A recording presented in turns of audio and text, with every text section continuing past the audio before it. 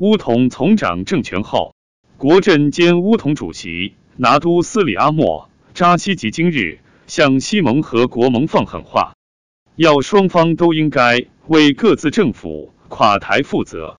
人民对前两届政府的不满是由于政府未能兑现承诺。他说，国阵在执政期间从未违背承诺。当西盟和国盟垮台时，不要责怪国阵，他们应该责怪自己没有改善人民的生活方式，为国家经济陷入困境而自责。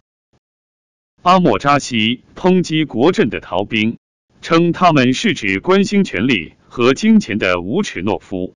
他说，自第十四届大选以来，约有十五名乌统议员叛逃加入土团党联盟。而纳敏区国会议员拿督罗兹曼加入沙明星党。当我们输掉大选时，很多国会议员因为权力和金钱而跳槽时，我们国阵确实感到被出卖了。但人民力量党的大力支持帮助国阵重新站起来。他说，所有国阵党员现在必须忠于党。国阵也在为下届大选挑选合适的候选人。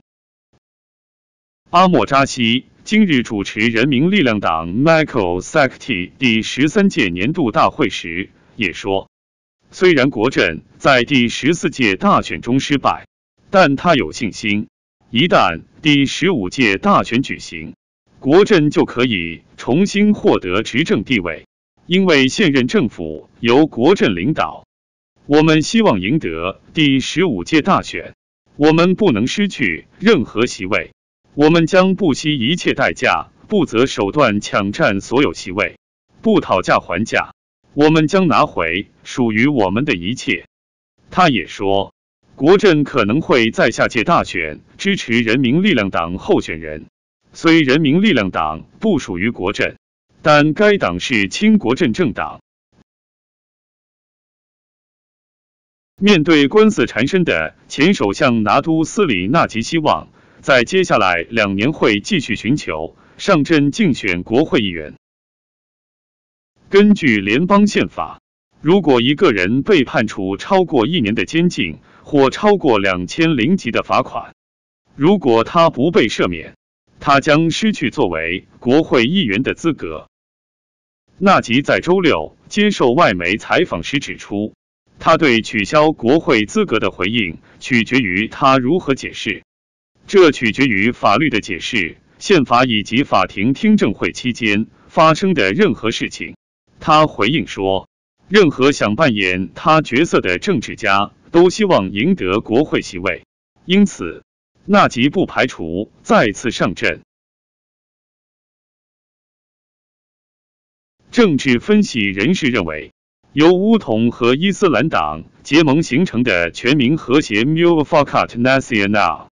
或许因为一党靠拢土团党而受到打击，但这种联盟并没有结束。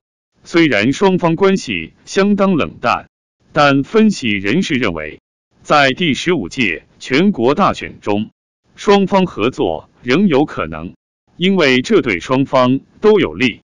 他们还补充说，乌统可能会在选举前更换主席职位。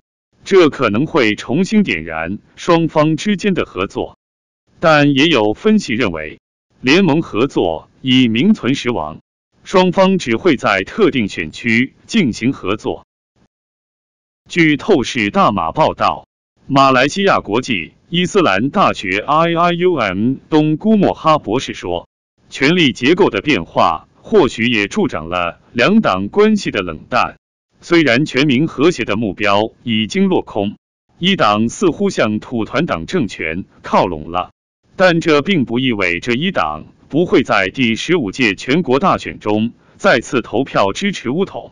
他全民和谐还没有结束，一党其实很有政治头脑，他们会加入一个回报更高的政党，因此我们不排除一党看到资金后会选择。重新与乌统合作，尽管乌统认为一党向土团党靠拢是一种背叛，但东姑莫哈表示，该党将继续与一党合作。乌统认为他已被一党出卖，但乌统的主要敌人是土团党。如果可以利用伊斯兰党带给土团痛苦，他们会这么做。所以，我认为这就是为何乌统没有强力谴责一党靠拢土团党。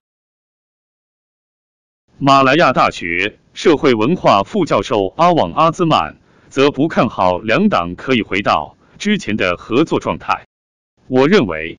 在第十五届全国大选中，乌统与一党的合作只会延伸到某个领域，这也取决于两党之间的个人关系。以登嘉楼为例，两党很难合作，因为他们都想赢得席位。在全民和谐成立两周年之际，两党都没有庆祝，可见一党与乌统之间隐藏的问题。在当前的政治环境下，全民和谐已经崩塌。在西蒙与政府签署谅解备忘录 （MOU） 后，沙巴明星党主席沙菲义阿达强调，这不应影响尚未签署备忘录的其他各方，尤其是在帮助人民方面。他说，应该把广大人民的利益放在首位。而不仅仅是人民代表签署备忘录的地区人民，不应该因为我们民兴党没有签署而阻碍帮助人民，为我国急需帮助的人们提供帮助，不仅是食物篮子，还有安全和就业机会。他周六在沙巴明星党总部接受访问时说：“所以不要让它成为帮助我们人民的先决条件。”沙菲义指出。明星党与政府合作，注明没有障碍，但支持的形式不需要备忘录。他解释说，如果以备忘录的形式进行，反对党可以进行的制衡将被削弱。我们不想受这个协议的约束，我们需要制衡，这是反对党和执政政府的主要目的。在我国乃至全世界都面临新冠肺炎疫情之际。我还没有看到与英国、美国或任何成熟国家的反对党的谅解备忘录。他问道：“我为什么要签署，并鼓励签署成为明星党和其他国会议员的问题和压力？”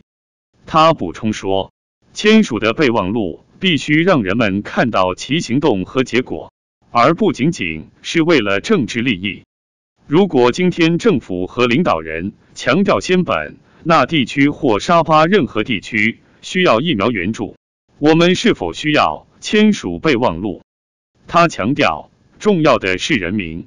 这并不意味着人们在签署备忘录后可以获得帮助，这不是人民的利益，这是签署备忘录政治利益。